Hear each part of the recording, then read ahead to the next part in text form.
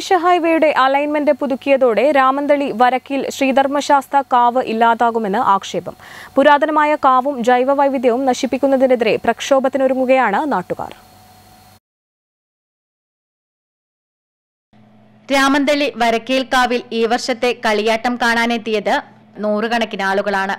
നരമ്പിൽ ഭഗവതിയെയും മടയിൽ ചാമുണ്ടിയെയും വേട്ടയ്ക്കൊരുമകനെയുമെല്ലാം കണ്ട് വിശ്വാസികൾ തൃപ്തരായി തിരിച്ചുപോയി. പക്ഷേ തീരദേശ ഹൈവേക്കായി സർവേ ചെയ്ത് കുറ്റിയടിച്ച പുരാതനമായ ഈ കാവിന്റെ ഭാവി അനിശ്ചിതത്വത്തിലാണ് ഭഗവതിമാർ ഉറഞ്ഞാടുന്ന തെയ്യാട്ടക്കളവും മരങ്ങളും വള്ളിപ്പടർപ്പുകളും ഇടിച്ചു നിരത്താനാണ് അധികൃതരുടെ നീക്കം.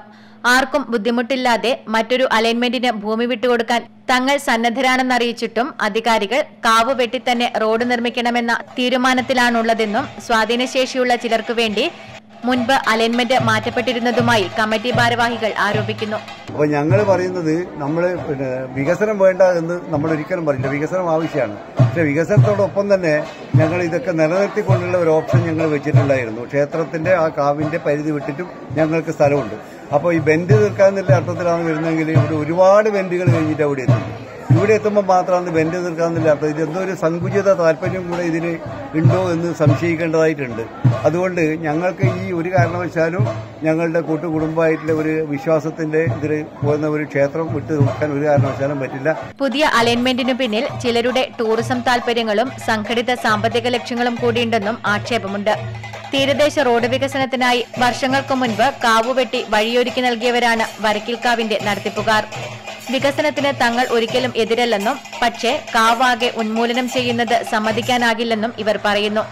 അലൈൻമെന്റ് മാറ്റാനായി ശക്തമായ സമരപരിപാടികൾക്കൊരുങ്ങുകയാണ് കാവ് കമ്മിറ്റിയും നാട്ടുകാരും.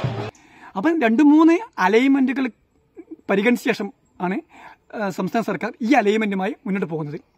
അപ്പോൾ പറയാനുള്ളത് ഞങ്ങൾക്ക് ഒരു ബദൽ പർപ്പോസൽ വെക്കാനുള്ളത് തൊട്ടടുത്ത പ്രദേശത്ത് കൂടി ഈ റോഡ് കടന്നു പോവുകയാണെങ്കിൽ ഈ ജൈവ വൈവിധ്യ കലവറിയായ ഈ കാവ് സംരക്ഷിച്ച് നിർത്താൻ കഴിയും. കാരണം ഇത്തരം ഒരു കാവ് ഇനി ഒരിക്കലും പുനഃസൃഷ്ടിക്കാൻ കഴിയില്ല.